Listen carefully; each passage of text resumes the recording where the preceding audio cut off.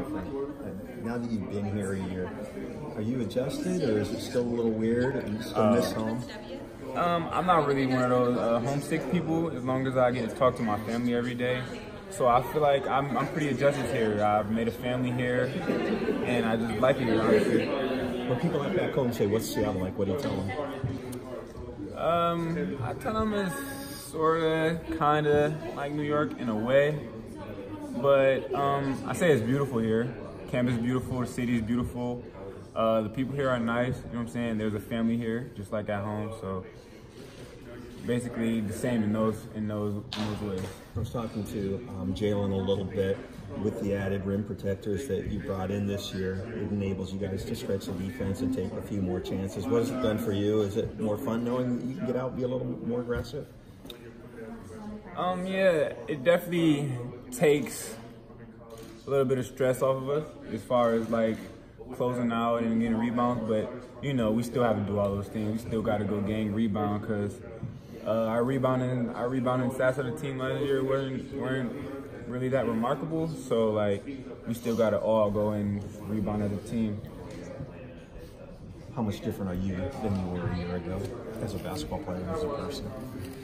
Um, being year two, I feel like I'm smarter. Like I've seen a lot last year.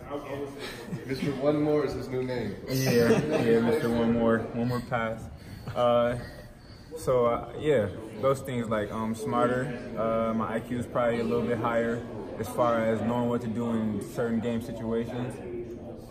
Yeah, stuff like that. What about your niche, uh, Nas, in terms of where you find yourself on this team? Where, what role do you feel like you play? Um,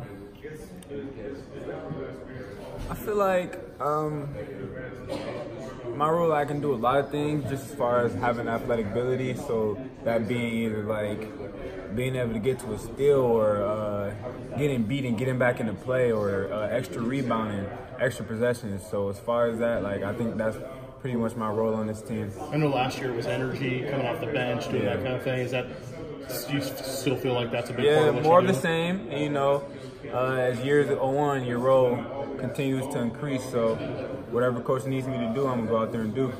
And coach mentioned you as somebody that put on like 20 pounds in the off season. So how do you go about putting on weight but not sacrificing your speed as well?